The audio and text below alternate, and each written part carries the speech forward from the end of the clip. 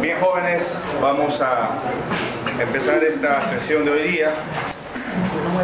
Y como ven en la pantalla, hoy día empezamos a desarrollar otro tema que está referido a otro de los componentes funcionales del sistema estomacal. Nos referimos a las articulaciones temporomandibulares. ¿ok? Antes de entrar en el tema, quiero nuevamente reiterar otra vez en cuanto a las actividades que hacemos en el curso. No se olvide, la vez pasada conversamos de esto, vuelvo a repetir, siempre lo digo para que al final no digan yo no sabía. En el curso tenemos la evaluación de la teoría, que es con el examen parcial, nos quedan cuatro semanas y estamos en el parcial. En la parte práctica ustedes tienen su control diario con su respectivo profesor de prácticas, cada práctica es calificada, cada profesor les pone una nota. Hay una nota que es el aspecto actitudinal, donde estamos considerando los pasitos que ustedes dan todos los días, todos los lunes. Eso es parte de la evaluación actitudinal. ¿Qué significa eso? Si tienen, no dan pasitos, significa pues que la actitud de ustedes frente al curso es adecuada. No vienen, llegan tarde, no dan pasitos aparte de la nota que sirve para calificar también. Lo otro es el trabajo de eh, investigación, que para este año hemos propuesto una modalidad diferente, ya les expliqué la vez pasada, vuelvo a repetirlo. A cada grupo de prácticas, su respectivo profesor de prácticas les va a entregar un artículo científico en otro idioma, en inglés, con temas relacionados a lo que es el curso. La mecánica es la siguiente, cada uno de ustedes va a recibir el artículo, ¿no? El cual lo tienen que tener, lo tienen que traducir y luego cada uno de ustedes, cada grupo de prácticas, son 10, 8, depende de cuánto sean, tienen que buscar como mínimo otro artículo, sea en inglés, sea en portugués, en francés, cualquier otro idioma, o inclusive en español, con no más de 5 años de antigüedad relacionado al artículo, y tienen que adjuntar al final es decir, al final de esta primera unidad, que nos quedan cuatro semanas más o menos para esto, el grupo tiene que entregar como especie de una monografía donde va a estar el artículo, la traducción del artículo y los otros 8, 9 o 10 artículos que va a ser el aporte de cada uno de los miembros del grupo. ¿Entienden, verdad? Ese artículo que ustedes van a encontrar lo van a agregar al artículo original eh, tiene, si, está, si, está, en inglés, lo tienen que traducir. Está en portugués, igual lo tienen que traducir. Entonces, al final, cada grupo entrega eso. Eso no solamente es el trabajo. El día del seminario, la última semana de esta unidad, donde hacemos el tema de la relación céntrica, que es un tema aparte, ese día, una hora, vamos a dedicar a hacer una discusión sobre este artículo científico. Todos han leído ese artículo, se supone, todos están embebidos en el tema, ya haremos una discusión, alguno de ellos hará una presentación o hará un comentario sobre el artículo y eso tiene una nota. Esa nota va al aspecto de investigación. Y la otra nota final es la de los seminarios. Este, esta unidad, al final de la unidad tenemos un seminario cuyo tema es relación céntrica. Para eso ya ustedes saben la mecánica, no tienen que hacer ninguna monografía, nada de relación céntrica. Lo único que tienen que hacer es leer, leer bastante y hacer una presentación en PowerPoint máximo 15 diapositivas o de relación céntrica, con lo que ustedes entiendan de relación céntrica. El día del seminario, de los 10, 8 que son en grupo, dos o tres salen a exponer lo que han preparado y el resto participa haciendo preguntas, agregando algo, comentando algo, eso también es calificado y tiene otra nota que va en el aspecto de seminario. Entonces, creo que lo vuelvo a decir varias veces para que entiendan y al final después lo digan, yo no sabía, doctor, yo no sabía que teníamos que hacer este trabajo, yo no sabía que había seminario. Todo esto está especificado en el sílabus también, dicho sea el paso, ya lo entregué hace casi a la semana siguiente de empezar el curso, había las correcciones que hacer, y ya lo pueden tener de manera oficial. No sé el delegado que es de cada grupo, a ver, coordinen eso para ver si ya tienen. Muy bien. ¿Alguna pregunta sobre eso, jóvenes? Sobre los aspectos de, de manejo del curso, ¿alguna duda, alguna pregunta? ¿Alguien tiene algo que comentar? Por favor, díganlo. No hay ningún problema con ello, alguna duda. ¿Algún profesor de prácticas todavía no les ha entregado su artículo? A ver. ¿A todos les han entregado ya? ¿No? ¿A quienes no les han entregado? Levanten la mano. No tengan miedo, levanten la mano. Ya, muy bien. ¿Y tú con quién llevas práctica? ¿Quién es ese responsable que no te ha? ¿Quién es? Para llamarle la atención. Yo. No,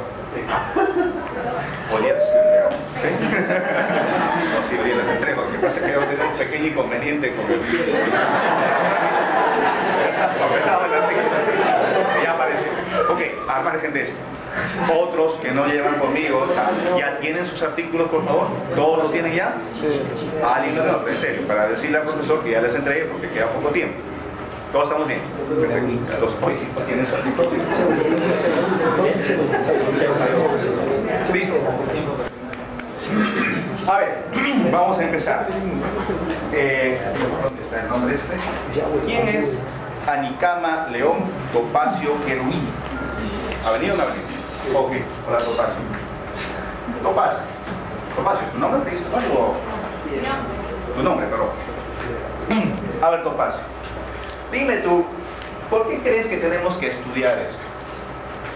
Articulación temporal ¿Por qué será importante para, para nosotros, para ti? ¿Por qué crees que es importante estudiar articulación? O de repente no es importante, no, sé, depende, ¿cómo lo ves?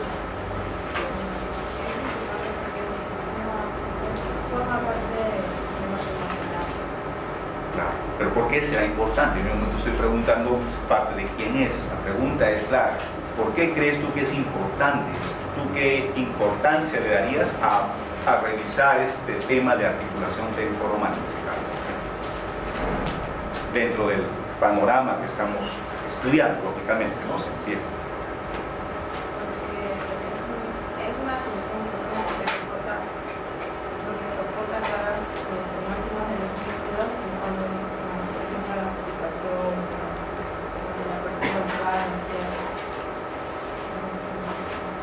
Ya, a ver, otra opinión un poquito más de idea.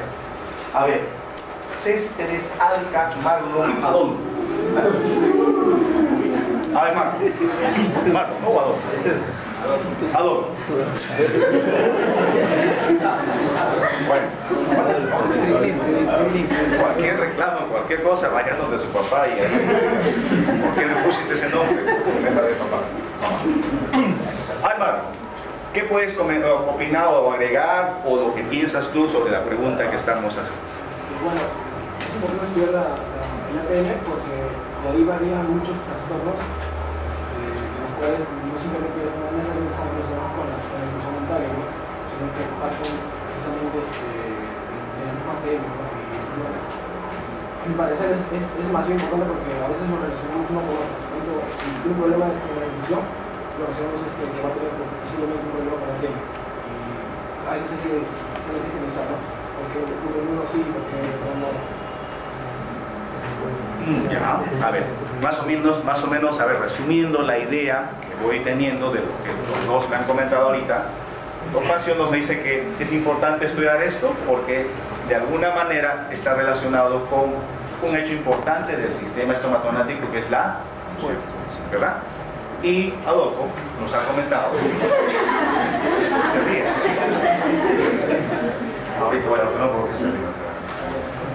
Porque yo me llamo Hugo Joel. ¿Me llaman Joel? No, no sé mi nombre Joel. Conocen como Hugo. Mal. Marlon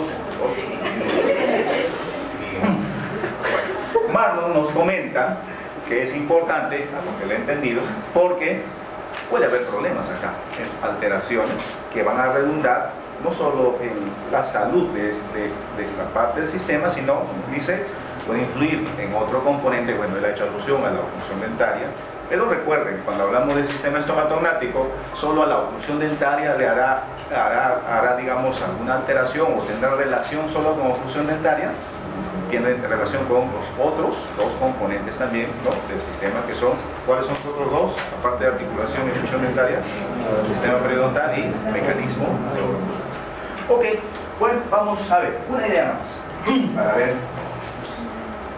Capcha Espinosa Stephanie Bristet. A ver, Stephanie. ¿Qué más nos puedes decir a lo que nos dijo Topacio y Marco? A ver, la oclusión... No, no, hablamos ah, ahora. pero- Claro. Sí, sí. Eh, en el ámbito de nuestra carrera, el- lo que nosotros eh, manejamos a nivel general, trabajamos acerca de la oclusión. Y para analizar la oclusión tenemos que analizar eh, la normalidad y anormalidad de la ATM, que de acuerdo, para ver, para determinar las funciones eh, de la oclusión, muchas veces primero hay que analizar la, eh, hay que hacer un análisis de los modelos y hay que ver todo lo que es la articulación temporomandibular. Y además porque al hablar de la articulación temporomandibular hablamos también de los músculos, que, de músculos y fuerzas que abarcan la función principal, la, que es la masticación. Y todo se podría decir que es una unidad y forma parte también sistema Mm, Ya, bueno. Eh, sí, con la forma que has descrito, un poquito media enredadita, pero la idea es esta, ¿no? Que es todo un conjunto y este, este componente, el ATM, es parte de, ese, de todo ese conjunto que es importante. ¿Qué dice Dawson en la primera parte de su, del artículo que han leído, de la parte del libro que han leído? La- tiene un, hay un cuadradito celeste abajo, ¿verdad? ¿Qué dice? ¿Alguien puede leer? A ver, vamos a ver. Porque tiene su copia. pues, A ver. Chero Castro Christopher William. Muchachero. ¿Ha venido o no ha venido Chero? Chero. A ver, Chero. ¿Tienes el artículo? La primera página del... ¿Qué dice ahí abajo del...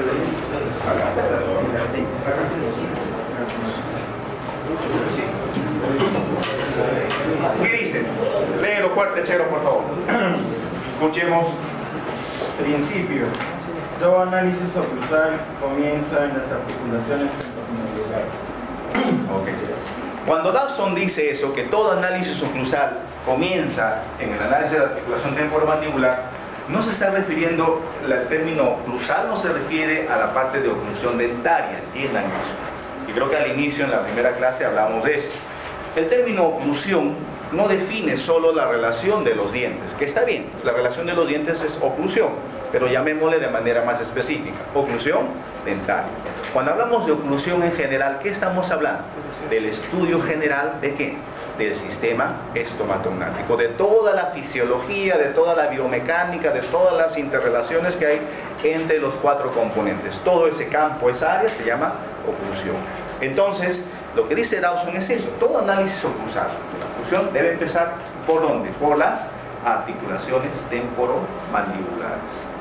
Entonces, eso significa que si tenemos articulaciones temporomandibulares sanas, bien conformadas, biomecánicamente funcionando como debería ser, y vamos a ver eso cómo ocurre, ¿qué debería pasar con el resto de los componentes?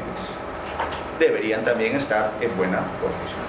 Y, como mencionó este Marlon, si las articulaciones están enfermas o vemos que hay alguna enfermedad, algún problema ahí, ¿qué pasará con el resto de componentes? También se alterarán. Entonces, esto simplemente está, está refrendando lo que dijimos al inicio, la interrelación entre todos los componentes.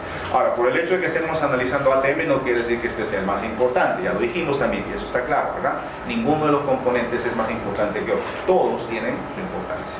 En las dos clases anteriores o tres vimos la oclusión dentaria, seguimos en la práctica haciendo la parte de oclusión dentaria, vean cuántas cosas hay que aprender ahí y ahora estamos empezando a ver ATM.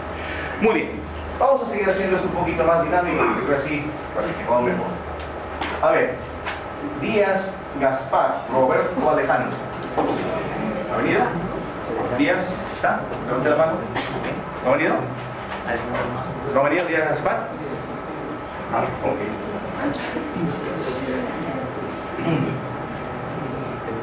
A ver, Escobar Vargas, Klaus Eduardo.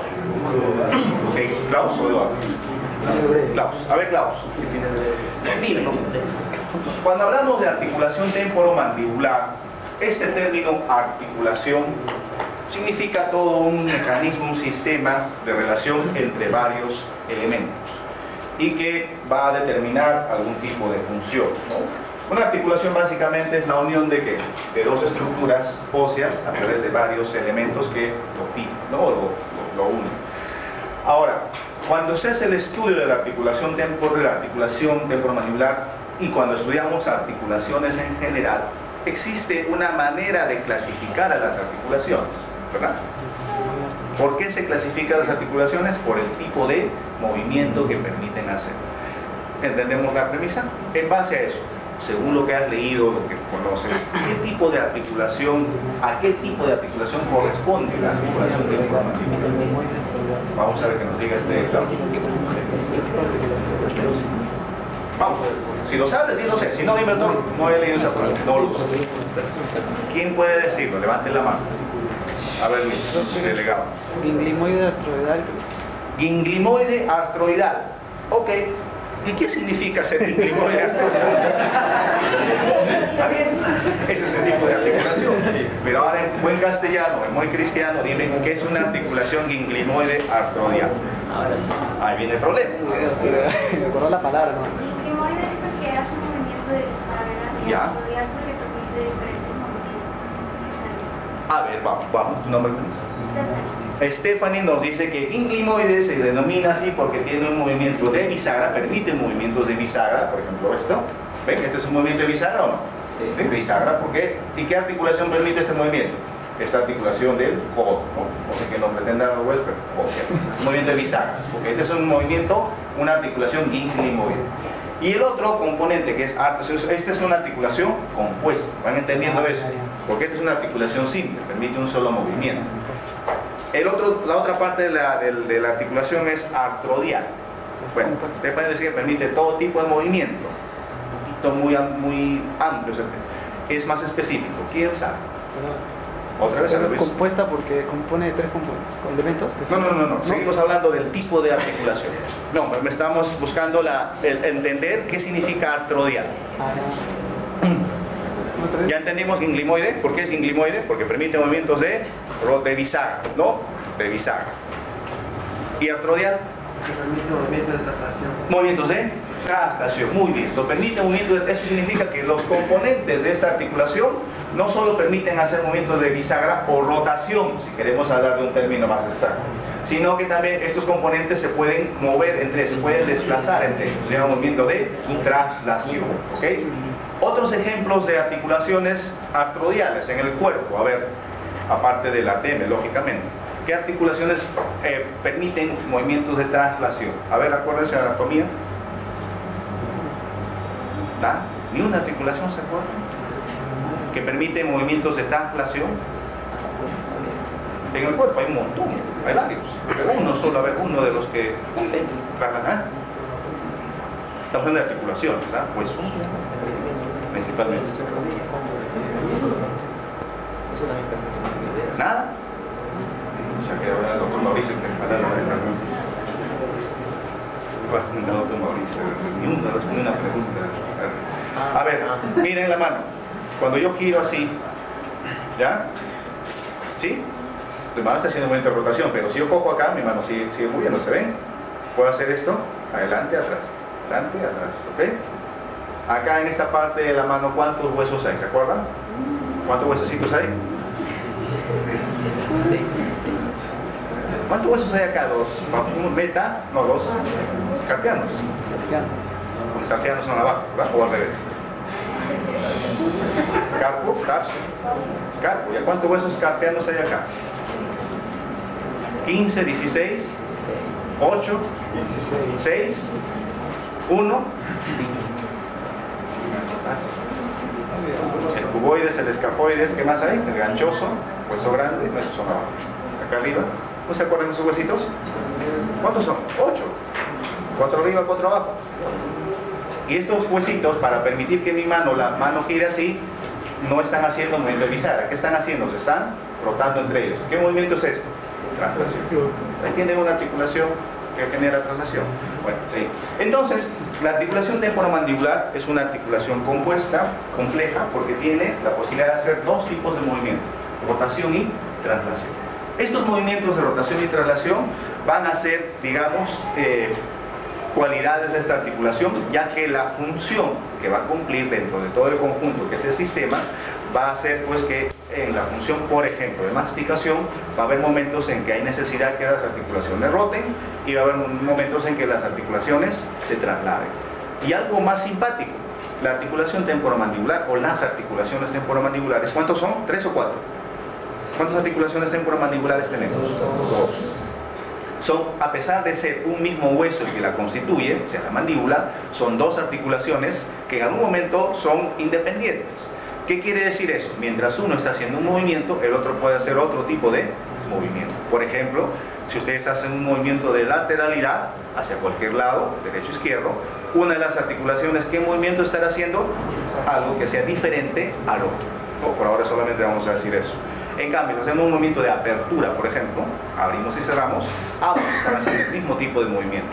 Pues miren la complejidad de esta articulación. Entonces, por eso debemos sentirnos orgullosos. ¿Saben por qué? Porque los médicos no tienen la capacidad o no tienen, digamos, la, la suerte nuestra de ver una articulación tan compleja y tan bonita como esta. En el cuerpo no hay otra articulación que sea como esta. Y lo simpático es esto. ¿Cuántos o qué elementos óseos constituyen la articulación temporomandibular? ¿Cuántos huesos? Dos. Acá lo ven. El hueso de acá, el hueso mandibular, y este grandazo de acá, ¿cómo se llama? ¿Qué hueso es? Temporal.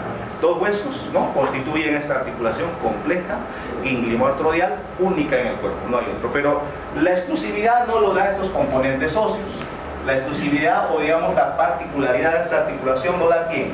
Los otros elementos que van a constituir esta articulación. Entonces, ¿qué quiere decir? Que la articulación mandibular no solamente son huesos, ¿Qué cosa más constituye una articulación temporomandibular?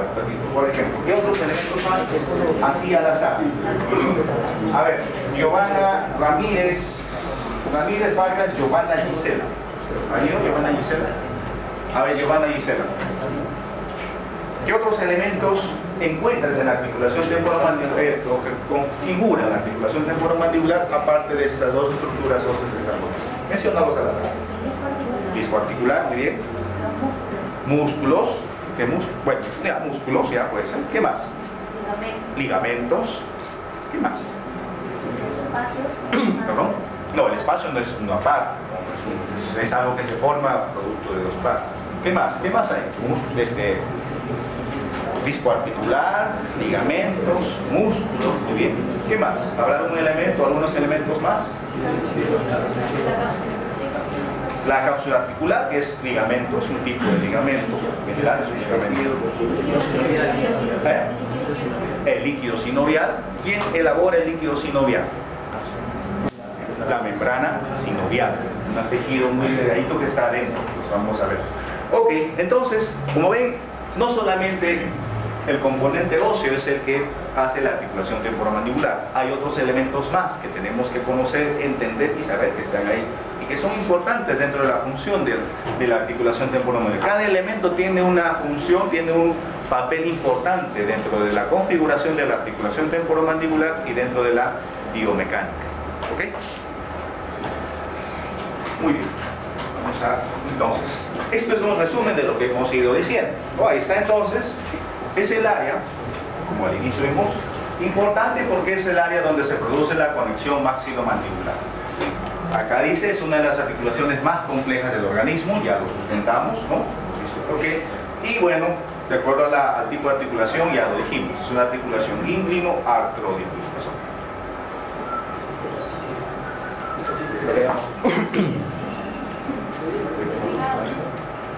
No, el delegado no tiene la culpa. No, echar culpa por el delegado. Ya, entonces es una articulación gínglimo artrodial, una articulación única que hay en el organismo.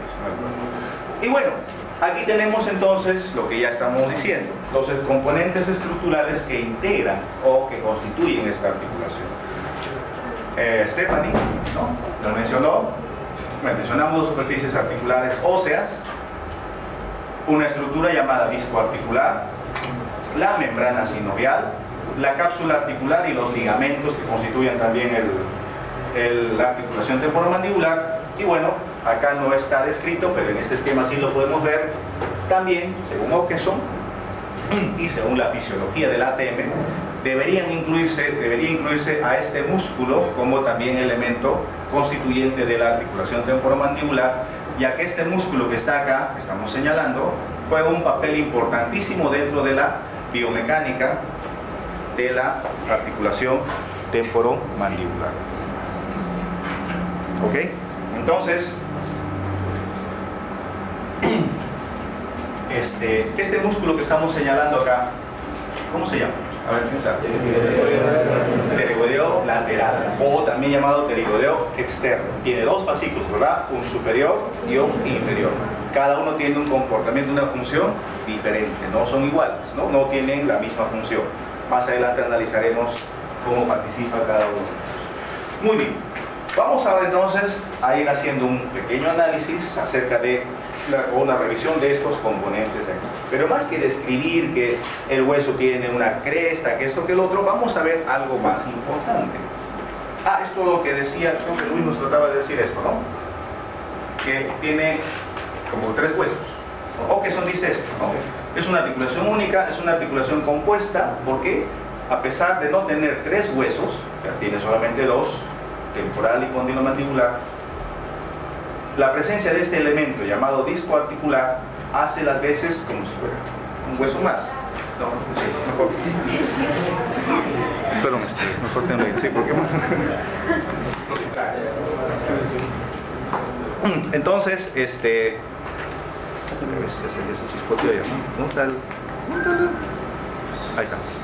A pesar de no tener tres huesos, la presencia del disco hace las veces de un hueso más y que eso le permite hacer los movimientos que habíamos estado conversando, ¿no? dos tipos de movimientos, movimiento de rotación y movimiento de traslación. ¿no? Son dos tipos de movimientos que puede hacer la articulación temporomandibular. ¿okay? Y ya lo dijimos esto también, a pesar de que el hueso mandibular es uno solo, las articulaciones temporomandibulares dentro de la biomecánica, cada uno puede hacer un movimiento diferente, pero ojo, estos movimientos, por más diferentes que sean, siempre están interrelacionados. Eso no quiere decir que si una articulación tiene movimiento, el otro está quieto, no se queda ahí. También tiene participación dentro del movimiento o de la biomecánica, tal vez de manera diferente que la otra articulación. Pues la ATM de un lado dice, no puede funcionar sin la intervención de la articulación de la contralateral por esta razón se le ha llamado una articulación cráneo-mandibular para enfatizar su carácter bilateral. Hay una preguntita para, para romper el... ¿Cuántos huesos móviles hay en el cráneo? ¿Cuál es cráneo? Del cuello para arriba, ¿verdad? Todo esto es cráneo. ¿Cuántos huesos móviles se pueden mover en el cráneo? Uno.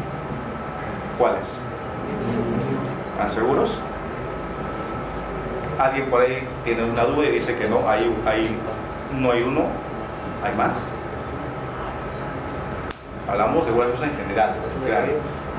Los huesos del oído. ¿Eh? Los huesos del oído. Ah, muy bien. Muy bien. Ah, Miguel. Miguel. No lo veo. Miguel nos dice que hay otros huesos que también son móviles en el cráneo. ¿Cuáles son esos huesos? huesos? Los huesecitos del oído. ¿Los huesitos del oído se mueven o no se mueven? ¿Y cuántos huesecillos hay en el oído? Ver. Tres. Ah, muy bien, tres a cada lado. ¿no? En total, ¿cuántos son? Seis. Si pregunto por los nombres de huesecitos ya será complicado. Martillo, yunque. Yunque, martillo y trigo. Muy bien. Debiste haber sido torrino y no dentista.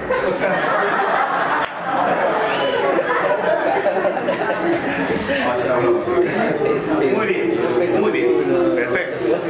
Entonces, ya recordamos que en el cráneo hay no solamente el hueso mandibular, sino también huesecillos del oído, que también son móviles, ¿no? Pero si preguntamos cuántos huesos móviles hay en la cara, cara, ya la respuesta es diferente. ¿Cuántos huesos móviles hay en la cara? ¿Cuál es la? Ok, perfecto. Entonces, es el hueso móvil. Muy bien. Bueno, esta parte es simpática. Porque la articulación temporomandibular, a través del crecimiento y desarrollo de una persona, ¿no? no nace o no nacemos con la articulación temporomandibular como siempre nosotros lo estudiamos, es decir, más o menos según este esquema de esta forma. Sino que la articulación temporomandibular, si ven este esquema, ¿no? representado aquí a un feto más o menos de nueve meses de gestación o casi un mes de nacido, miren la configuración ósea de la articulación temporomandibular. Acá está lo que sería lo que es el cóndilo mandibular. Y acá vemos un hueso que todavía no tiene configurado la otra estructura que va a recibir el cóndilo, llamado cavidad glenoidea. Entonces, si ustedes observan estas dos figuras son totalmente diferentes. ¿Y por qué entonces esto es así y luego más adelante viene a ser así? Lo que pasa es que dentro de la formación de la oclusión, del desarrollo de la oclusión, cuando hablo de oclusión estamos hablando de todo esto, las estructuras primigenias de lo que futuramente va a ser esto, tienen una forma totalmente diferente. Y que a través del tiempo, a través del crecimiento, del desarrollo del ser vivo, del ser humano, esas estructuras van a ir cambiando, van a ir modificándose en razón de dos hechos. ¿Estos hechos cuáles son? La forma y la función, que están muy relacionados entre ellos. ¿A qué me refiero? La forma de esto va a determinar la función acá, por ejemplo, ¿no? analizando desde el punto de vista de la articulación. Esta forma de acá determina la función acá y viceversa. La función que va a haber acá va a determinar la forma que va a haber aquí. Y lo mismo acá. ¿Qué es lo que estoy tratando de decir? De repente este doctor está loco, forma en función, está hablando chino. Vamos a ver a qué me refiero. Con este ejemplo lo van a entender rápido. Un niño recién nacido, no sé si algunos han tenido esa, esa oportunidad y si no, bueno, pues no les, no les, les queda eso por venir en el futuro, entiendo a la mayoría, ¿no? Todos queremos tener un niño, una niña, un hijo, un hijo. Entonces, deseado o no deseado. Cuando un niño nace, bebito, ¿cómo se alimenta? ¿De qué se alimenta? De la leche materna. ¿Y ustedes han visto lactar a un bebito? Bueno, porque le pregunto si se acuerdan, no creo que se acuerden. Aunque hay algunos que todavía tienen esa maña, pero... Eso, no, no está discusión ahora, ¿ok? Cuando lacta un bebito, si ustedes ven y observen, observen, yo a que observen a los niños ahora, bebitos, ¿ah? pero observen el fenómeno de lactar. No vayan a estar observando otra cosa, y... Cuando lacta un bebito, yendo a lo serio, cuando lacta el bebito, al succionar la leche, ¿qué movimiento hace la mandíbula? ¿Han visto? Abre y cierra la mandíbula el niño. Hace un movimiento así. ¿Para qué? Para chupar la leche, aspirar la leche de la, de la teta de la mamá. Ya, esto suena gracioso, pero ¿qué tiene que ver con la articulación, doctor? Entiendo. ¿Qué pasaría si este niñito tiene su articulación de esta forma cuando nace? Una eminencia articular pronunciada y una cavidad pronunciada. ¿Podrá hacer el movimiento de succión tan rápido como lo hace?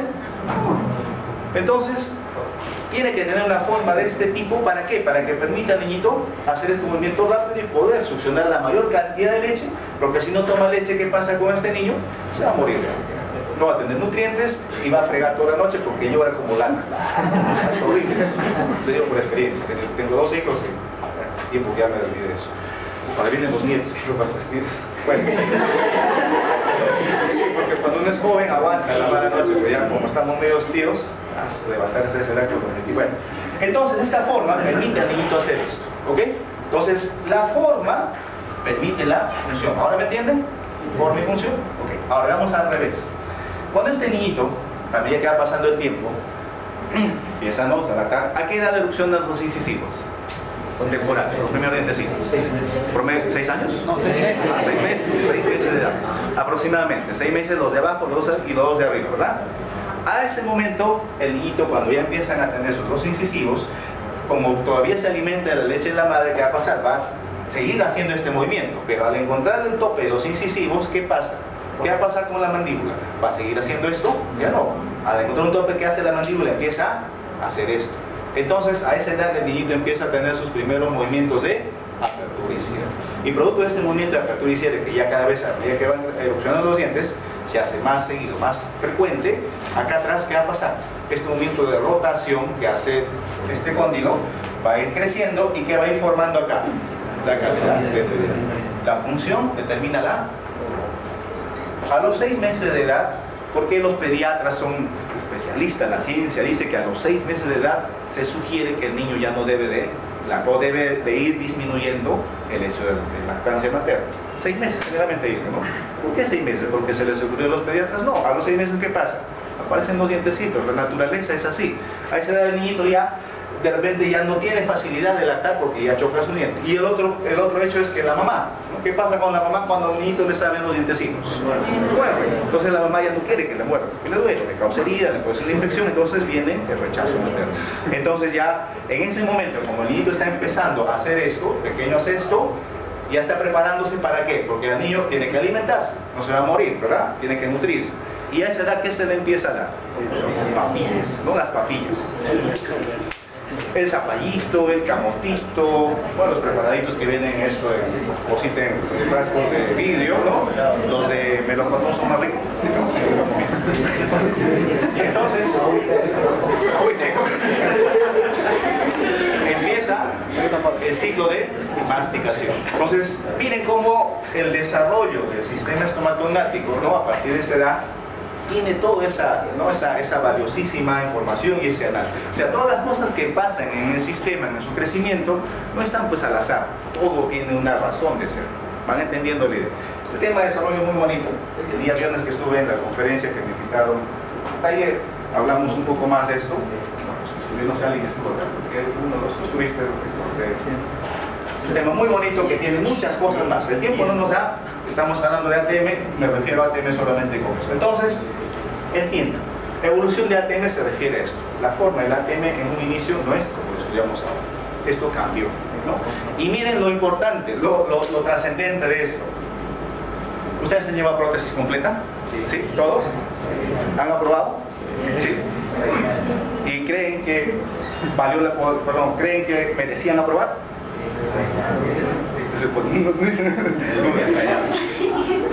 Si tuviéramos una imagen aquí de un cráneo de un paciente desdentado que no tiene dientes, viejito, digamos, de 70, 80 años, que ha perdido sus dientes a por buen tiempo, unos 10, 15 años, y hacemos una imagen acá, lógicamente los rebores van a estar parecidos al vinito, y su articulación temporomandibular, ¿cómo creen que está? Así como el de acá. ¿Cómo creen? Así como el de allá, más o menos, plano. Porque toda la forma que ha tenido, gracias a los dientes, cuando una persona pierde los dientes, ustedes han visto un viejito que no tiene prótesis como comen, abre y cierra la mandíbula, no, ¿qué hace? Otra vez empieza el movimiento antero-posterior, como si fuera un bebito. Quítenle la prótesis total a sus abuelitos, es que lo tienen. Entonces, vuelve a eso. Y ese movimiento que hace así, movimiento antero-posterior, claro, la tena está configurada así, pero como no hace el movimiento, ¿qué pasa con el hueso? Se remodela y ¿qué va a hacer? Que la cavidad glenoidea se vaya aplanando y el cóndilo, ¿qué pasa? Se aplana. Entonces, ¿a dónde está volviendo? A como era por la, lógicamente por la pérdida de dientes.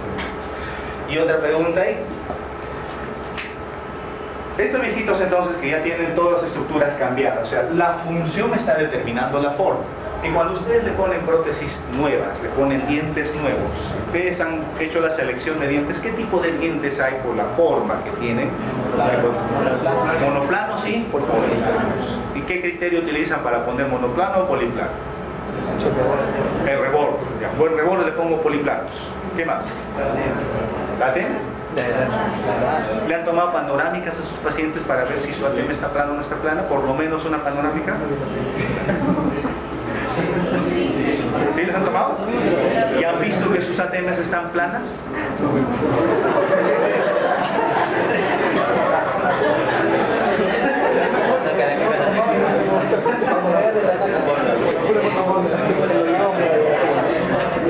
Hoy día mismo van a ir a ver a sus viejitos y les van a ver, ¿no? Y le van a decir, no me acostumbra la prótesis porque se me sale, se me sale, cada vez que como se me sale. ¿Por qué creen que se les sale? El gen posiblemente, estoy especulando, a un paciente, un viejito que tiene los cóndilos planos y la TM plana, que solamente tiene capacidad de hacer movimientos horizontales, le han puesto dientes poliplanos, que es para tener, o para pacientes que tienen la capacidad de hacer movimientos verticales. ¿Entienden? ¿Entienden la importancia de esto? Porque hay que saber cosas básicas. Esto es básico, no es, no es, no es ciencia. Entonces, un viejito que la prótesis la tiene inestable, vean sus dientes, si son poliplanos, ya. Imagínense. Es igual que a una viejita le pongan tacos. ¿Se imagina una, viejita cómo caminaría con tacos? Es fácil para que. ¿Ok? A una chiquilla le pongan tacos. Lindo, ¿no? Igual. Entonces hay que tener cuidado con eso. Todas esas cosas tenemos que ir aprendiendo. ¿ok? Muy bien. Entendemos lo de ATM, este es un tema muy amplio, muy lindo, pero el tiempo nos gana. Vamos a ver ahora, yendo a la parte más específica, la parte ósea.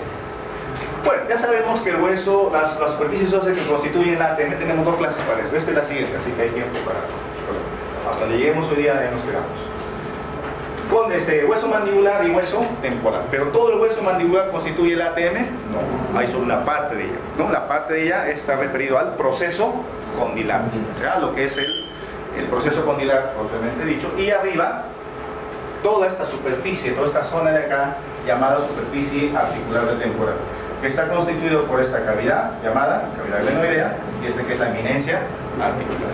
Ahora, no vamos a describir pues algunas que cómo está formado, que la forma que esto. Lo que vamos a ver son algunos aspectos importantísimos. Lo que Dawson dice y una de las preguntas que hicimos acá. ¿Qué importancia tiene conocer la estructura ósea que determina o que está referido a la articulación temporomandibular? Primero, más temprano cuando preguntamos, eh, Opacio, ¿no? Nos dijo que la función, y dijo algo de fuerza, ¿no? De fuerza. La fuerza que se genera en el sistema estomatognático, ya conversamos un día de fuerza, ¿verdad? ¿Cuánto de fuerza se generaba acá? Promedio, ¿cuánto, cuánto masticábamos? 15 a 20, ¿no? 15 a 20 más o menos, promedio, ¿no? Depende de cuánto comamos y qué tan, qué tan fuerte mordemos. Pero la máxima fuerza que se podía generar acá, ¿se acuerdan cuánto era? Casi media tonelada, ¿verdad? Casi media tonelada, Boques me dice. Entonces, mire la cantidad de fuerza que se genera y quiénes soportan esa fuerza. Adelante, ¿quiénes soportan la fuerza? Los dientes, ¿verdad? ¿Qué dientes en todo caso? Los posteriores. Y atrás, ¿quiénes soportan la fuerza? Entonces, para soportar esa fuerza, estas estructuras que están acá, superficies óseas, van a tener que tener alguna característica que permita soportar la fuerza. ¿Ok? Y parto de un ejemplo. ¿Quiénes boxean? ¿A quiénes le gusta el box? ¿Vicky? ¿Vicky?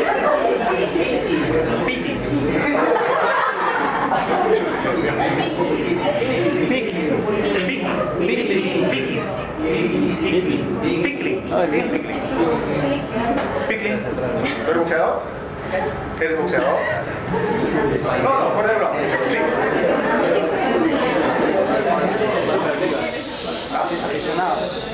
¿Practicas el box? No, es verdad, fuera de broma, en serio. Sí, sí, sí, sí, sí, no, no, sí. Más o menos, un poquito que te guste el box.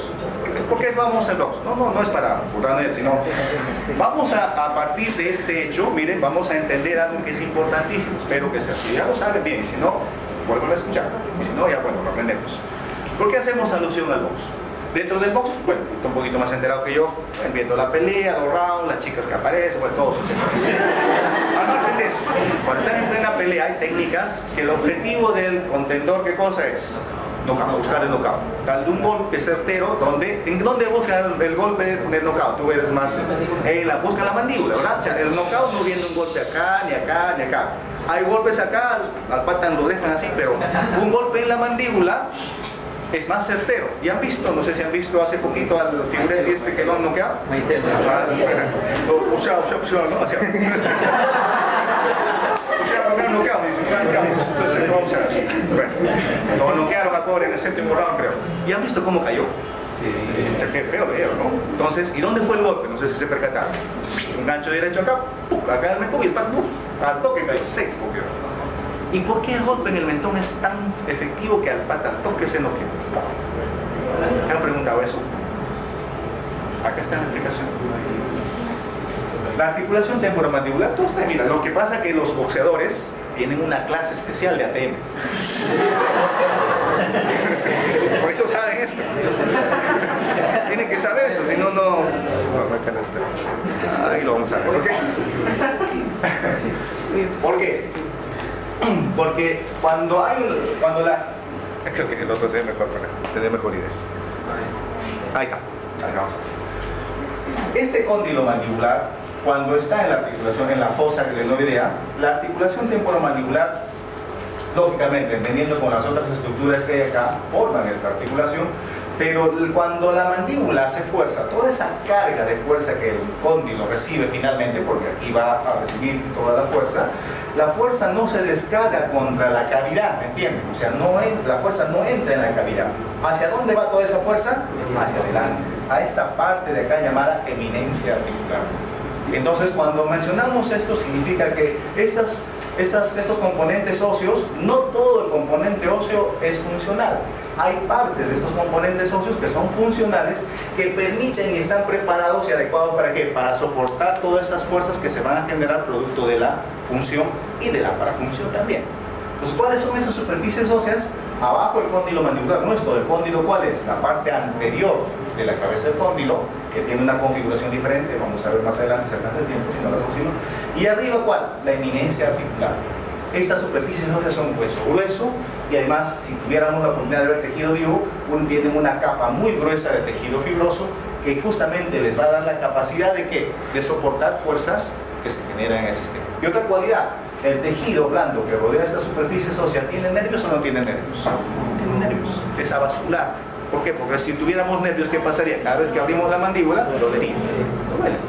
Eso lo duele, ¿ok? Ahora, para ver dónde nos vamos.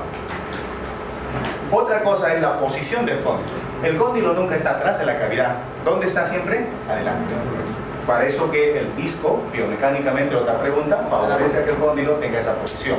¿Qué pasa cuando este cóndilo va atrás? ¿Puede ir para atrás? Sí, se puede ir para atrás. ¿Producto de qué? De un trauma, de un golpe, o a veces cuando hay una alteración seria, el disco se va para adelante, el cóndilo se va para atrás, puede ocurrir eso y genera todo un problema atrás. La zona retrocondilia, que es esta de acá, donde también hay varias estructuras, que vamos a ver la siguiente, es una zona muy noble. Esta zona, a diferencia de esta, miren, está cerquísima. Esta zona de acá tiene tejidos ricamente vascularizados y ricamente inervados.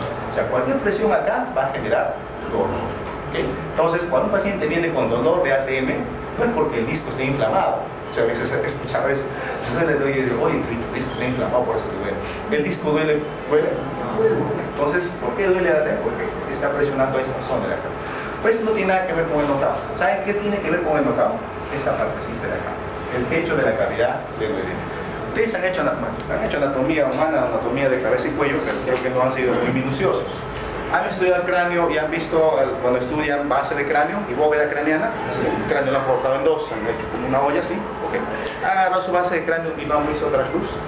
¿Alguna vez han hecho eso? Y si ustedes hacen eso a trasluz y ven esta parte de acá, ¿sí? Esta partecita de acá que es la cavidad glenoidea, si ustedes lo ven a trasluz, es bien delgadito. El hueso está delgadito. En cambio, esta parte de aquí, el hueso, ¿cómo es? Compacto, hueso, ¿no? Ah, eh, justamente en razón de la función que va a cumplir. Ahora, ¿qué tiene que ver esto con el notado? Cuando el boxeador recibe un golpe, golpe, el golpe es fuerte, el cóndilo mandibular que está sentado adelante, cuando recibe el golpe, ¿hacia dónde se va a ir? Hacia arriba y hacia adentro. Entonces, va a chocar contra qué estructura? Contra el techo de la cavidad glenoidea. Y este techo de la cavidad glenoidea es un hueso bien delgadito, bien delgadito. Entonces, y vamos un poquito más allá, ojalá que no sea muy lejos para ustedes. ¿A qué me refiero? Debajo o detrás de esta laminita, ¿qué estructura está? De la estructura ósea, ¿qué cosa hay? Acá en mi cavidad arriba, adentro, ¿qué cosa tengo? Pues tengo. Ahí está. ¿Qué está? ¿Qué cosa hay en la bóveda craneana? El cerebro. Y esta es la parte del lóbulo medio. La parte del lóbulo medio, pues será neuroanatomía, pues es más complicado. ¿no? Bueno, esta parte del lóbulo medio del cerebro, que saben, el cerebro tiene varios centros de control de diferentes partes del cuerpo, ¿verdad? El homúnculo de Parma, ¿se acuerdan qué es el homúnculo de Parma? ¿Han escuchado hablar de eso?